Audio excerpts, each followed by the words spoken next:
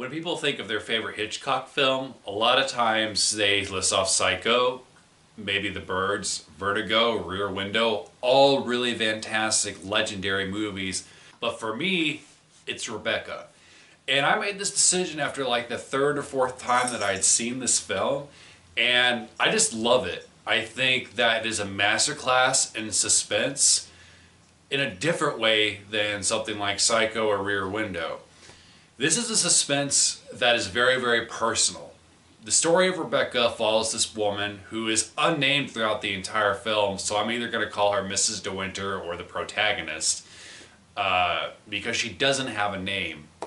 But the protagonist meets this wealthy businessman who, at the beginning of the film, is contemplating suicide. But they fall in love, and she sort of helps bring him out of the depths of depression. And he fi- she finds out through their relationship and eventual marriage that he had an ex-wife named Rebecca. And Rebecca, who has since passed, left a gigantic shadow on not just Mr. De Winter, but everybody.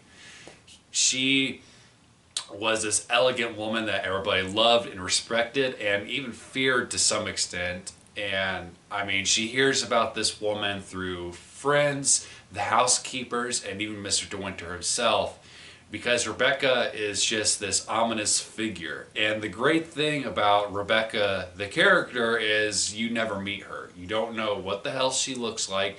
There's a hint that she might be one of the paintings on the wall, but there's no like pictures, you don't there's no flashbacks and it's just great stuff because it's this character that feels like she is a big part of the movie, but yet she never physically appears.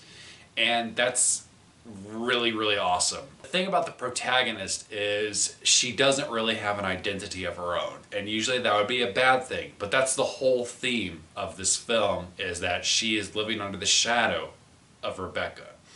That she doesn't feel like she could compete with Rebecca.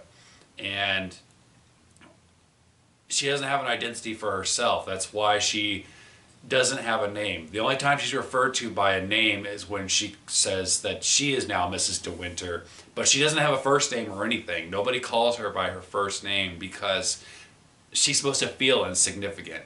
And I think the best dynamic, in my opinion, in the film is the housemaid and Mrs. De Winter. The housemaid apparently had some sort of a relationship with Rebecca.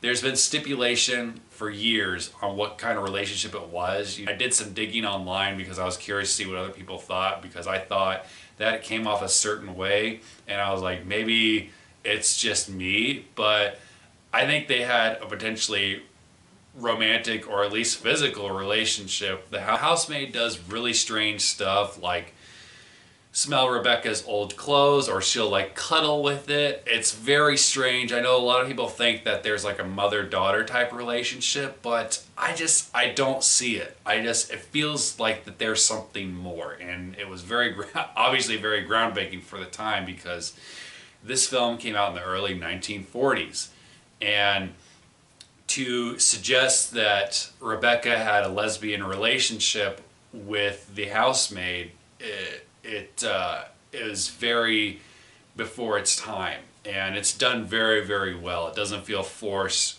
any, at all and I I love the psychology of that because the housemaid just hates Mrs. De Winter hates our protagonist because she doesn't think that she's good enough pretty enough she doesn't think that she's anything enough for Mr. De Winter or to even step into Rebecca's shadow. The direction is something to behold. I mean, I think that it's obvious that Hitchcock was going to be a great director by this time. I don't know how popular he was, especially in the United States. I think, in fact, Rebecca might have been his first film to be made in the United States. Correct me if I'm wrong. But Rebecca is just it's I love it. It's one of my favorite movies. It's my favorite Hitchcock film, and I'm excited to watch the remake. Although I'm hesitantly optimistic about it. It looks good. I'm excited to check that out. Um, but I mean, the original is always going to be the best for me. So Alfred Hitchcock's Rebecca. Have you seen it? What's your favorite Hitchcock film? Comment below, let me know. I hope you're having a great Christmas season. If you're looking for perhaps a spooky read during the holiday season, I've got some urban fantasy and horror books. Check out the links below. Thanks always for watching. Bye.